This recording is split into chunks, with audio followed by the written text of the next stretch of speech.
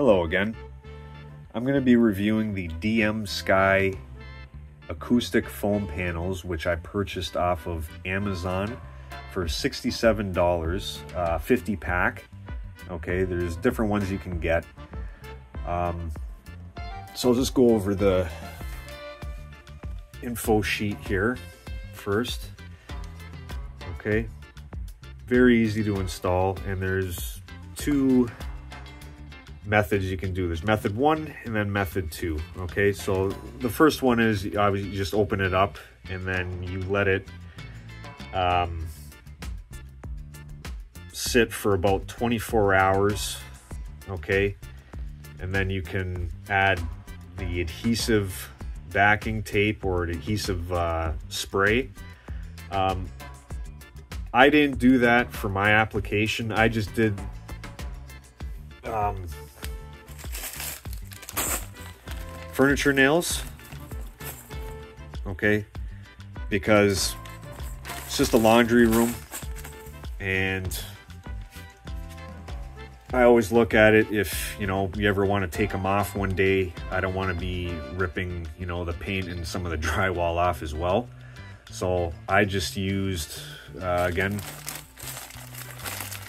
furniture nails, pack 500, a little bit overkill, but at least you have extra. All right.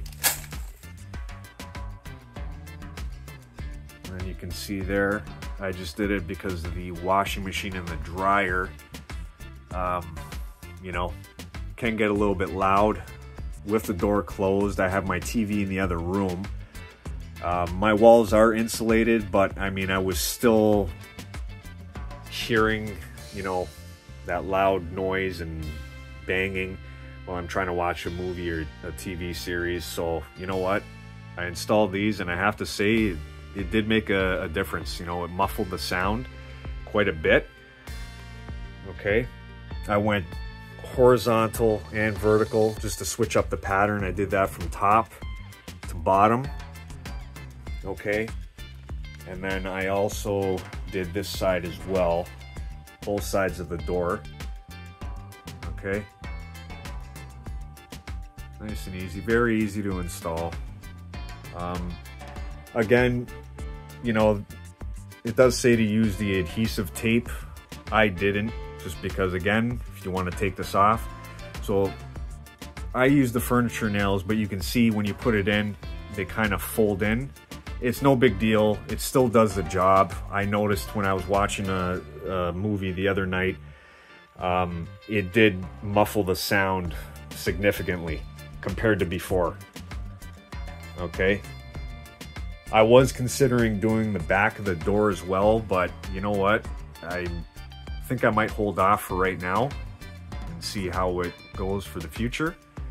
Um, I do have extra ones that I can um, add on later, but for right now, I think that did the job. Um,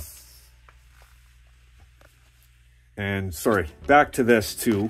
Uh, there's the second method, which you uh, just let the foam panels sink in water for about two to five minutes and then uh, dry it and then use the adhesive strip. I didn't do that.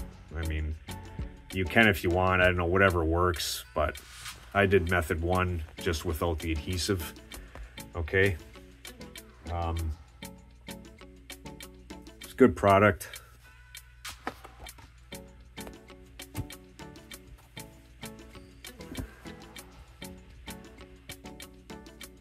There you go. Nice foam pads.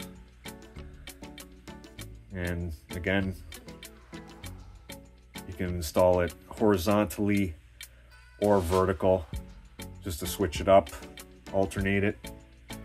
And uh, looks good. There's different uh, styles and designs you can choose off of Amazon. But no, it, I really liked it. It uh, it definitely did uh, did the job, and um, you know, especially if you're doing a studio, you know, if you play music, instruments, um, producing. You know, I'm no professional installing acoustic pads, but you know what? It it does make a difference. You can tell.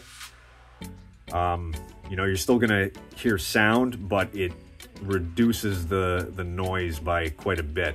You know, I'm sure there's other products out there that'll you know have studio professional studio quality, but you know what? For something basic and simple, it it really does make a difference.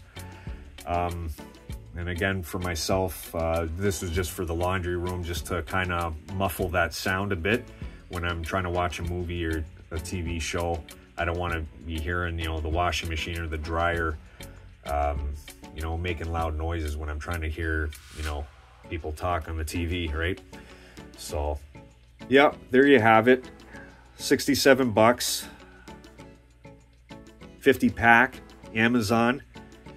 Not bad. Okay, that's it. Have a great day. As always, stay safe. See you on the next one. Peace out.